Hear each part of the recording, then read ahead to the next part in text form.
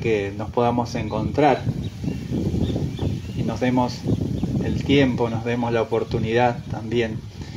de conmemorar, es decir, de volver a pasar por nuestra memoria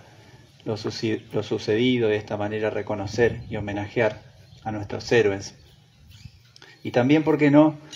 dejar en claro, muy en claro, nuevamente, cada vez que lo podamos, como en esta oportunidad lo voy a hacer yo,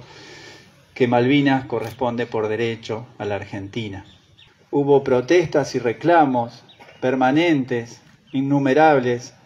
hechos a partir de, como decía, del derecho que tenemos y de la constitucionalidad de este reclamo por el principio de territorialidad, de, integridad territorial en realidad.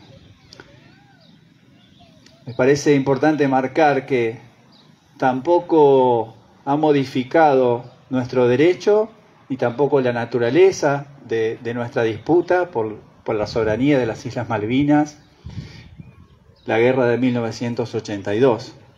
Es decir, ha sido un combate bélico, pero la disputa tiene que ver con eh, la naturaleza de la negociación bilateral entre ambos países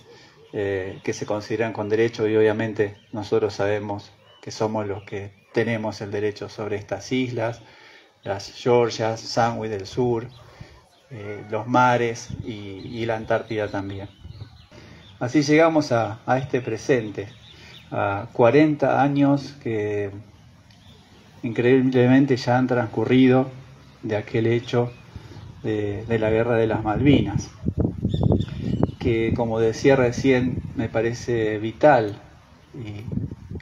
y, crucial que nos, nos demos la oportunidad de conmemorarlo, porque tenemos muchas deudas respecto sobre todo de nuestros héroes, así que necesitamos reconocerlos, homenajearlos, aquellos 649 soldados fallecidos, sus familiares, los veteranos y veteranas de guerra en general. Recordemos que además de los fallecidos hubo 1082 heridos, bueno, y tantas otras personas que han dado tanto por todos nosotros. De ahí la importancia también de visibilizarlos, es decir, de visibilizar ese hecho eh, histórico, heroico, y también visibilizar, como decía recién, nuestro derecho, nuestra soberanía sobre las Islas Malvinas.